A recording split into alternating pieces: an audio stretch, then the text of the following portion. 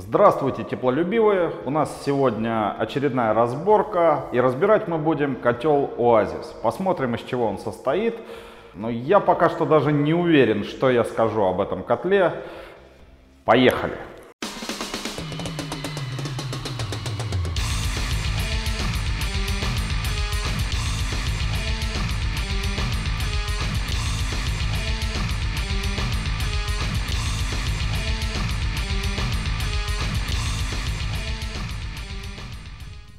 Пока разборка не началась, хотелось бы сказать, котел был предоставлен не нашими друзьями магазином Миргаза и Тепла, а был предоставлен именно компанией Forte Technology.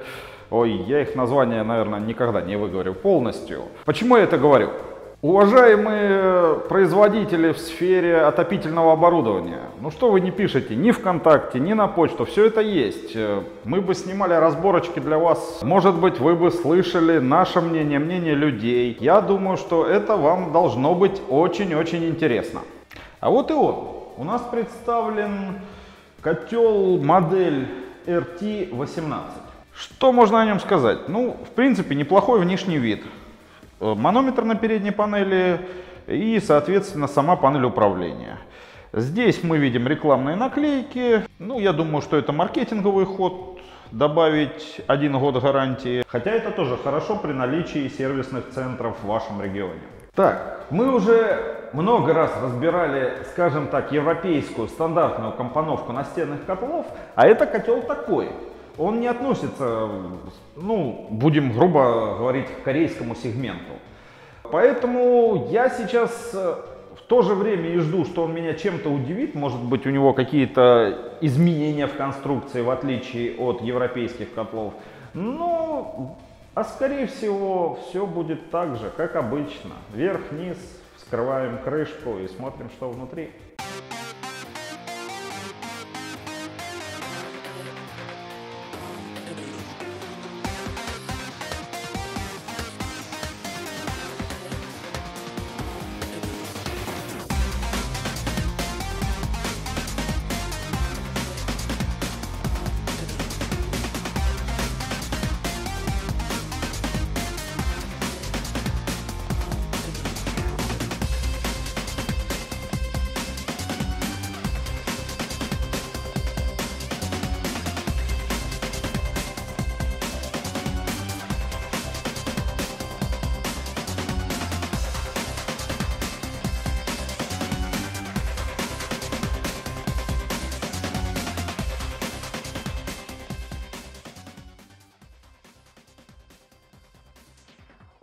В верхней его части находится место для подключения коаксиального дымохода, лючки для подключения раздельной системы дымоудаления, золотник для подкачки расширительного бака.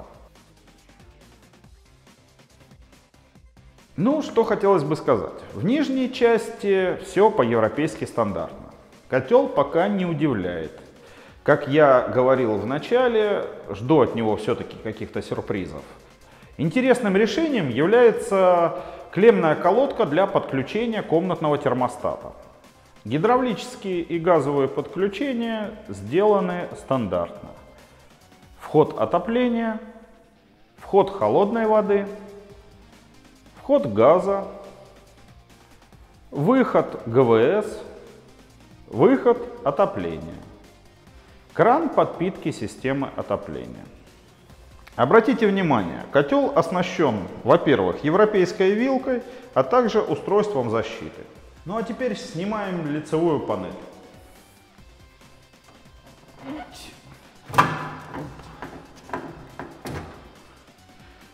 О, нас здесь ждет сюрприз. Так, сейчас, секундочку, подождите. Все, сейчас будет. Так. Угу.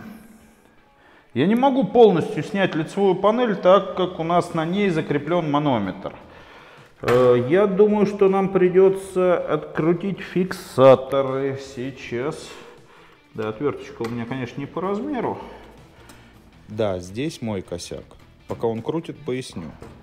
Почему-то я сразу не заметил, что панель управления Отсоединяется от основной лицевой крышки путем отщелкивания нескольких защелок. В дальнейшем видео я это сделал.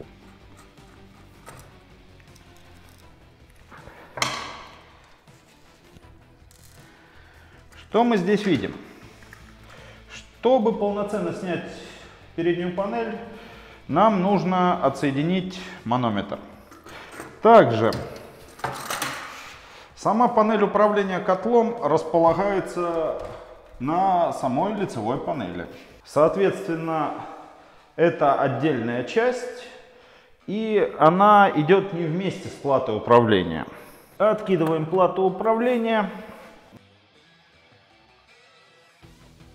Нижняя часть котла. Что мы здесь видим? Датчик температуры отопления накладного типа, расположенный на патрубке подачи системы отопления.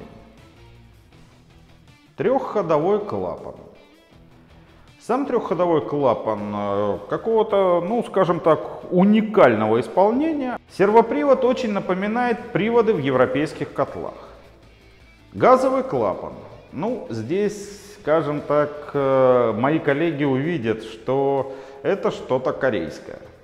Хотя, может быть, я и ошибаюсь.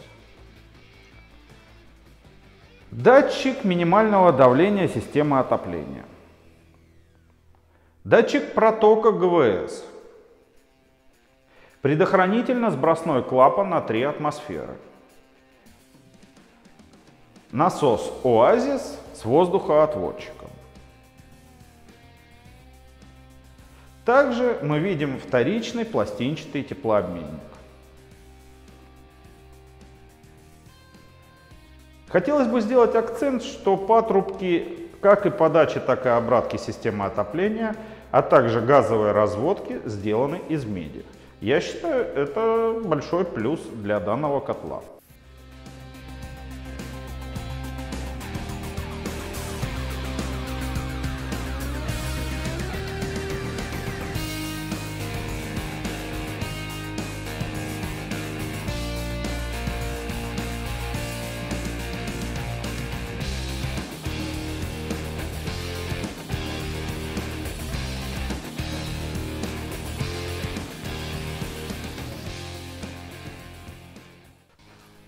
Ну а теперь давайте посмотрим на электронную плату этого котла.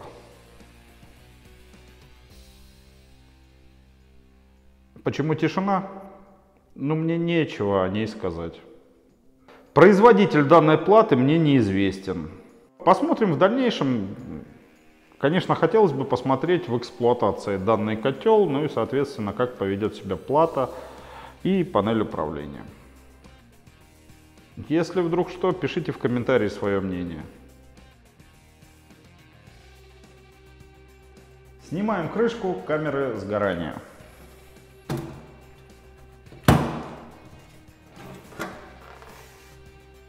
Открываем саму камеру сгорания.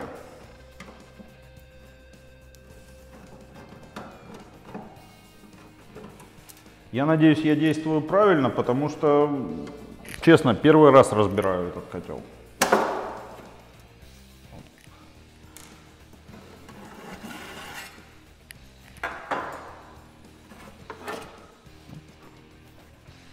Мы видим обгоревшую футировку камеры сгорания. Это очень хороший показатель, что говорит о том, что котел проверялся на производстве.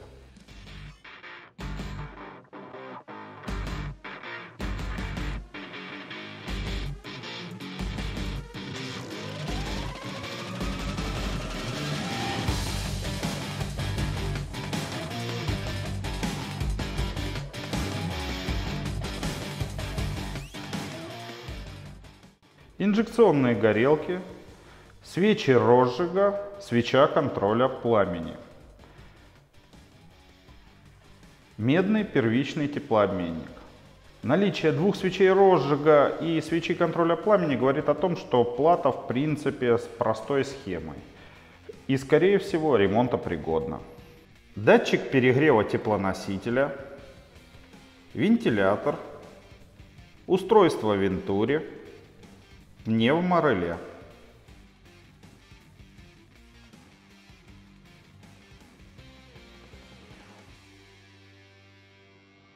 В задней его части мы видим расширительный бак на 6 литров, что, кстати, по-моему, маловато. Хотя, в принципе, и в некоторых европейских котлах тоже он 6-литровый. И пластинчатый теплообменник. А вот пластинчатый теплообменник, по моему мнению, очень маленький. Но, наверное, в модели на 24 киловатта будет, конечно, побольше. Я, по крайней мере, надеюсь на это. Ну а теперь давайте попробуем его запустить. Кстати, панель можно было переднюю снять э, быстрее и не откручивать манометр. Ну, здесь я лоханулся, сознаюсь. Включаем котел. Присутствует летний режим, зимний режим. Включился насос. Запустился вентилятор.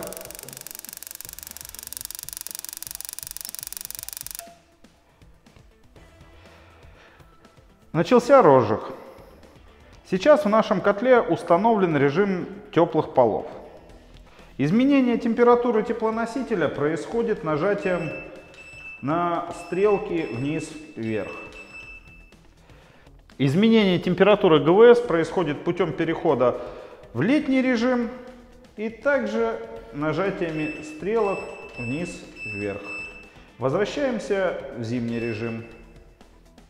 Также на этом котле присутствует функция программирования, за счет которой вы можете устанавливать желаемую температуру в определенное время. А сейчас давайте попробуем сымитировать какую-нибудь ошибку. К примеру, отключение вентилятора. Вот так на данном котле индицируются ошибки. Также помимо изображения на дисплее сопровождаются очень громким звуковым сигналом. Я считаю, это тоже маленький плюс в копилку этого котла. Так, давайте подведем итог. На вот такой эпичной ноте ошибка E8. Ну, начнем с минусов, наверное. Ну, во-первых, мне неизвестны производители некоторых комплектующих. Ну, наверное, практически всех.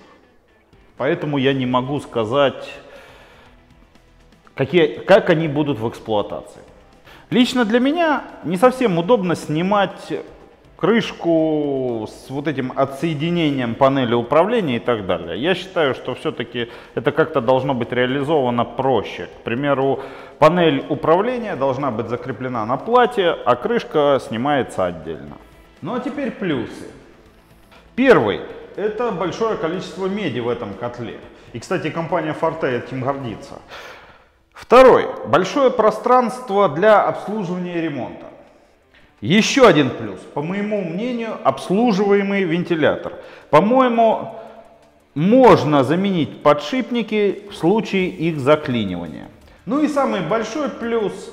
Рекомендованная розничная цена на аналогичный котел мощностью 24 киловатта 27 тысяч рублей. Ну и теперь переходим к выставлению баллов. Данный котел в своем ценовом сегменте получает 4 спеца. И еще одно. Вот эта самая надпись, гласящая о том, что дается дополнительный год гарантии к двум основным. Здесь имелось в виду что? Если производится монтаж и запуск котла специализированным сервисным центром, тогда вы получаете этот дополнительный год. Я надеюсь, вам было интересно. Не забываем, как обычно, про это. Еще хотелось бы сказать, что не забываем, что в группе ВКонтакте началось и снова продолжается, так сказать, голосование за котел года 2020. Также еще хотелось бы сказать, что мы с радостью встретимся с подписчиками на выставке Акватерм 2020. Ну и все. Всем спасибо. До свидания. Кто-нибудь нам подскажет, для чего эта заглушка? Сам патрубок идет на расширительный бак. Здесь никаких отключающих устройств нету. Так все-таки, для чего же эта заглушка? Пос- об- обратите внимание, коты приходят не первой свежести.